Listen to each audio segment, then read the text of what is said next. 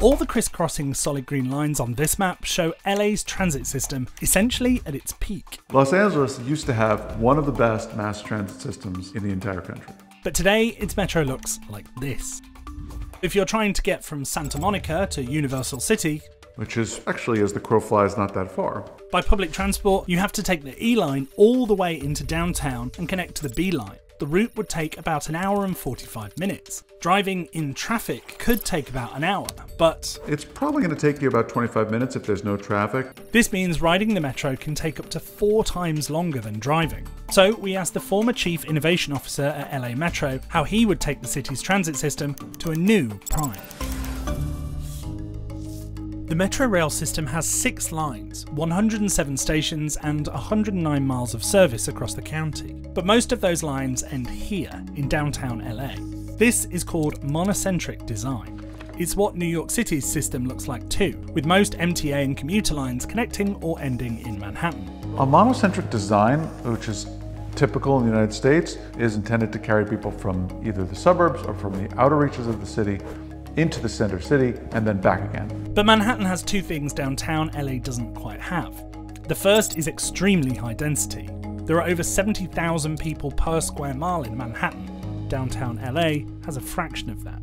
You do see some density along this subway corridor, but even there, it's much lower than the densities along the New York subway corridor, especially in Manhattan. And while Manhattan has 53% of jobs in a city of over 8 million people, Downtown LA has just 7% of jobs in the county of nearly 10 million. Downtown accounts for a very small percentage of employment in the region, certainly relative to other big cities. So, as long as you have a transit system that's primarily oriented to getting people into and out of downtown, it's going to struggle in a place like Los Angeles to really carry substantial numbers of people. But the problem isn't just that the system is centered on downtown, it's that it's centered anywhere. LA is much more of a multi-nodal city, meaning there are lots of different small hubs rather than just one big dense place in the middle. Some of these hubs are already on the current rail network, like Hollywood, Pasadena, and Compton, but the system doesn't reach plenty of others, like Venice, Torrance, and the San Fernando Valley.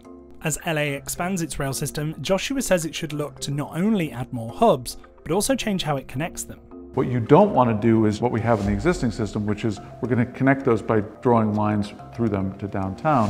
What you want to be able to do is draw lines that cross different places and get you from one place to another without having to go through downtown. The result is a polycentric system, like in London. London itself may be the center, but within London, there's lots of different places where you see lines intersecting and creating nodes. It's like having a bunch of interwoven cross-town lines, so you can go from Wembley Stadium to Wimbledon without having to go into central London at all.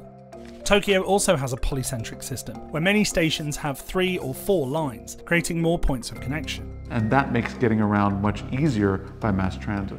Some of these changes are already happening. In 2016, LA Metro committed to raise $120 billion over 40 years to improve transit infrastructure, including the mass transit system. The new K line is the second not to go downtown, instead intersecting with the only other one, the C line, at LAX's new station.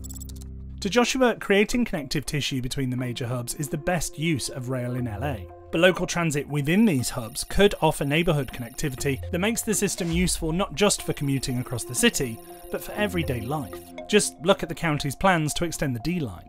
The stops are all placed at points of interest or major destinations. It is underground, which means it's free of obstruction and is going to flow very quickly. It's in a very, very dense corridor for Los Angeles which means there's lots of ways to walk to and from the stations. And most of those east-west streets are clogged during uh, peak times. So I expect this to be a very successful and highly used line and somewhat transformative for the city. The D line extension was first proposed in 1961, but it took more than five decades to break ground. Now it's expected to be fully open by 2027.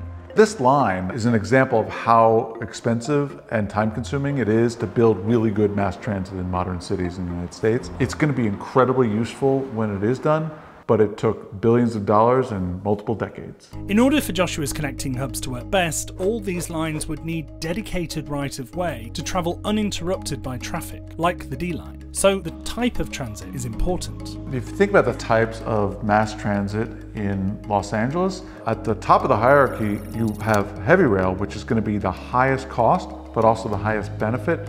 Heavy rail typically has the right of way and has more capacity, so it's best suited for high density areas.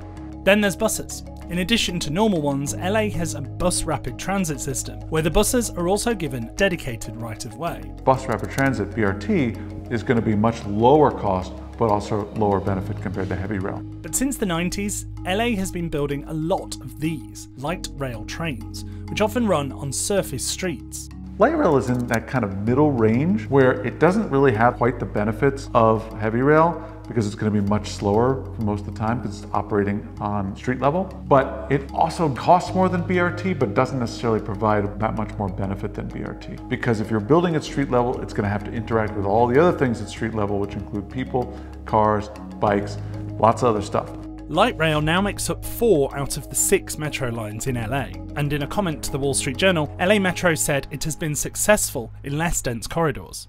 Today, 73% of Angelenos drive alone to work, and only 6.8% utilise public transit. To understand one reason why, just look at these two maps. The one on the left shows the amount of jobs that are available within a 90 minute commute by mass transit. The red lines are trains. And the one on the right shows jobs available within a 30 minute commute. There's a distinct inherent advantage that the car has when you cannot access that many jobs within a reasonable period of time by mass transit. Cars and declining revenue were big reasons why LA's old trolley system slid into obsolescence by the 1960s. Because there were mixed traffic with cars, as cars became more and more ubiquitous, the efficiency and usefulness of mass transit plummeted pretty dramatically. To make LA Metro's expansion a success, Joshua says it will need to increase ridership which is a challenge when just 16% of respondents to a USC survey said they think the metro is safe. Though LA Metro said that violent crime per boarding has fallen 15% from 2023 to 2024 after several initiatives to reduce crime. So, when it comes to the future of the system, the worst case scenario is that a lot of these lines they're not going to be built at all because of opposition. The best case scenario is that all of those lines on a map have become actual mass transit lines. Though the battle between efficacy and efficiency is constant, Joshua expects any additions will help to increase ridership. In reality, to build that perfect map, you know, all of us would be dead by the time it was complete, and so what's the point? And so people are constantly trying to find out, well, what can we build within a reasonable period of time that will be useful? And that's why you see that LA winds up with kind of a substandard system, but it's better than no system.